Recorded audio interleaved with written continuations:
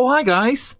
So, have you ever tried to open a file in Windows um, and you've got a little error message saying this um, file cannot be opened because it's from an unsecure PC and you have to go into um, the um, menu options and change all the group preferences? Well, there's um, an easy way of actually preventing that in Windows. So first, um, I'm using Windows 10, so I'm going to go down to start. I'm going to type in gp edit. You should see here edit group policy. Okay, so I'm going to click on that. Okay, this will bring up this box.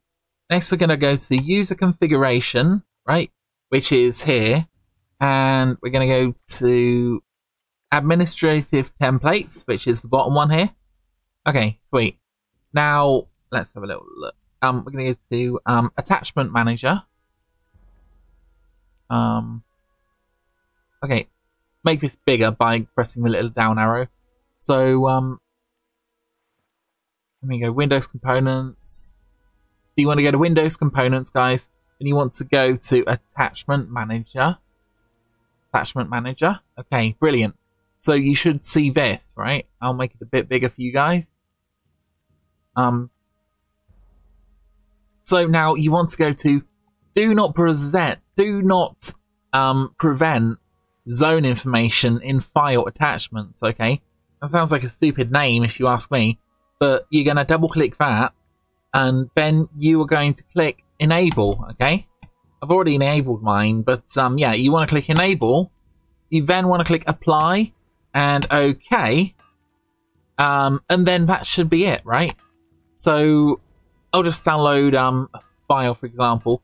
I'm going to go here and I'm going to go to... Uh, brilliant. So that's just a RAM file.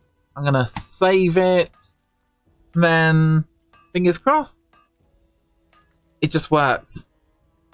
Yes, it just works.